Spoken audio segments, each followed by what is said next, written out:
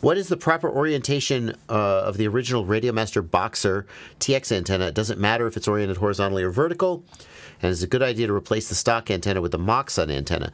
Uh, the the stock antenna is an excellent antenna. There is no reason to replace it. You should get more range than you could possibly need under almost all circumstances uh, out of that stock antenna. As far as horizontal versus vertical goes. The answer to that is that for long range flying, it's a good idea to have the antenna on the radio match the orientation of the antenna on the drone. So if the drone is vertical, like you've got an airplane wing with an antenna sticking vertically out of it, then you would want it vertical. If it's horizontal, like it's out back the back of a drone and it's it's horizontal, you would want it horizontal. The reality is that especially for drones where the drone is often tilting and rolling and flipping and upside down, the orientation often doesn't match anyway. So, and the a lot of people are really not flying long enough distance that matching the orientation it makes a noticeable difference in their range. They're not really at the edge of range anyway. The Moxon antenna is a little bit higher gain, so it's going to have a little bit more focused pattern sort of out front of you. The idea of the of the stock antenna is it has a circular pattern so you could basically fly all around yourself and have basically equal range in all directions. With the Moxon antenna, it's a little bit more focused out in front of you. The idea is that you'll be facing the drone, and if that assumption holds, then the Moxon antenna will give you a little better range. Although, again, Many people are not really going to hit the edge of their Express LRS range anyway, so the Moxon antenna is bigger, it's a little bulkier, and it's a little bit more of a hassle, so you may as well just stick with the stock antenna. I will show you. Can I show you? Can I? How proud I am? Look what I did the other day. Oh, this is my Radio Master Boxer Crush. And um, I love my Boxer Crush, but I'm not actually a gigantic fan of the stock antenna. Uh, it doesn't fold well, it doesn't fit in my backpack well.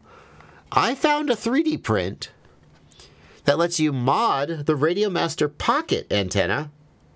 Oh, as Unreality says. You mod the Radiomaster Pocket antenna onto it, and now you have a nice folding antenna. That's hot. That's hot, boys. This is the hot pink, not the cherry red. It's the hot pink, uh, naturally. And I don't know. Is this? Does anybody know if this is a wire antenna or a PCB antenna? Anybody know? I don't know.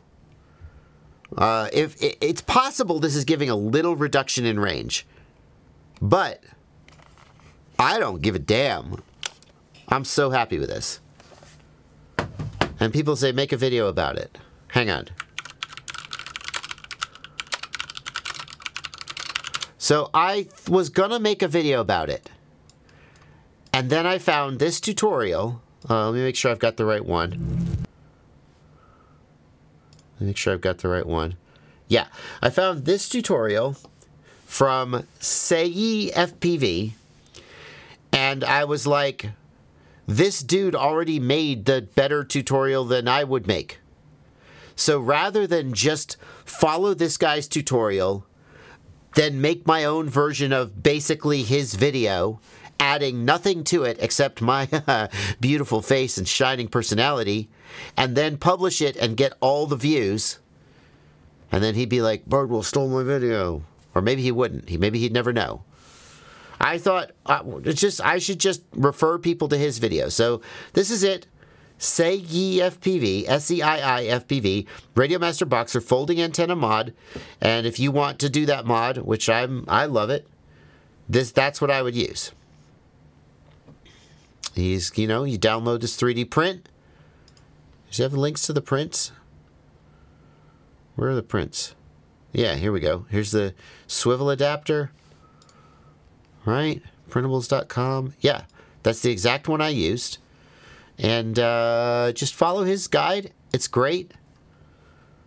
And uh, I'm not gonna just I'm not gonna just steal somebody else's content, clone it with my own voice, publish it, and take advantage of the fact that I have a bigger audience to, you know, I was just like, that's not a right thing to do. So uh, there you go. These days, the creators just watch the other video on stream. Yeah, this is that. yeah, yeah. Bardwell reacts to Say Ye Builds Radio Master Boxer folding antenna mod. Then I just publish it to my channel. I just sit there like this and drink a soda. that's good. That's good. Yeah, no, he's right. And I just do that for 15 minutes, republish it. Boom! One ad every two minutes. And I just I'd get I'd get 20,000 views and he'd get 2,000 views and and I'd claim that I was I was transformative in, in nature. No, I'm not going to do that. anyway, highly recommend if you have a boxer.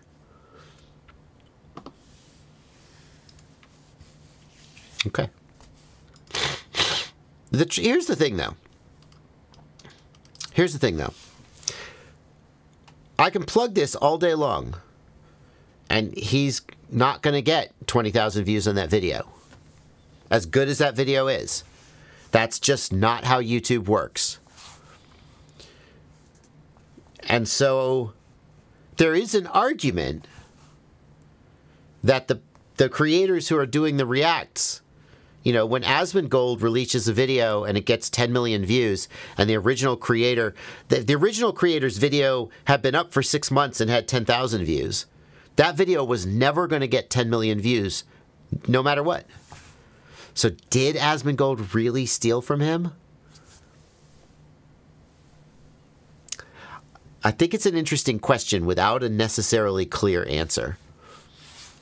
I, I, I, and I think that when there's a chance that someone who is powerful and famous is taking advantage of someone who is less powerful and famous, then we should default to fuck the powerful and famous guy. He's a dick.